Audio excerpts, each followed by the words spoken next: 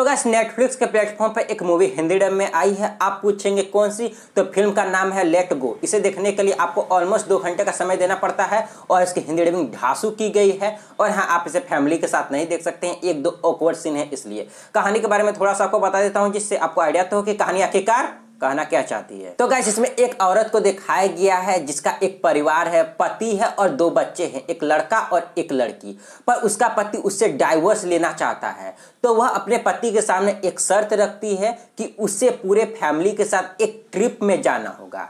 तो अब उस ट्रिप में क्या होता है? क्या वह अपने परिवार को फिर से जोड़ पाती है या नहीं जोड़ पाती है? इस बीच उसे किन किन चैलेंज का सामना करना पड़ता है और फ़िल्म का एंडिंग क्या होता है? क्या उनका डाइवोर्स हो जाता है या उनका डाइवोर्स नहीं होता है? और फ़िल्म की एंडिंग आखिरकार होती क्या है? ये सब जानने के लिए तो आपको ये फ़िल्म को देखना पड़ता है। तो गाइस फ़िल्म पसंद नहीं आई। जी हाँ फ़िल्म बहुत ज़्यादा बोर करती है और फ़िल्म का जो स्क्रीन प्ले है, वो बहुत ही लंबा है, बहुत ज़्यादा फील होता है लेंथ और मुझे इस औरत का कैरेक्टर को छोड़कर कोई भी कैरेक्टर पसंद नहीं आया। बाकी कैरेक्टर के लिए मेरे अंदर एक गुस्सा था मतलब गुस्सा आ रहा था बाकी कैरेक्टर के ऊपर, जब मैं उन कैरेक्टर को देख रहा था। तो फैमिली का जिस तरह से सेटअप किया गया है, वह मुझे खास पसंद नहीं आया। सिर्फ़ इस औरत का एक्टिंग बहुत ही अच्छा है, जिस तरह से उसके इमोशन को दिखाया गया है, वह सब देखने में अच्छा लगता है, पर फ़िल्म के लेंथ बहुत ज़्यादा फील होती है और फ़िल्म बहुत ज़्यादा बोर भी करती है। प्रोडक्शन क्वालिटी की बात करें तो जी हाँ इसका प्रोडक्शन क्वालिटी आपको अच्छा देखने को मिलता है। जिस तरह से इसमें सिनेमेटोग्राफी का उपयोग किया गया है, जिस तरह से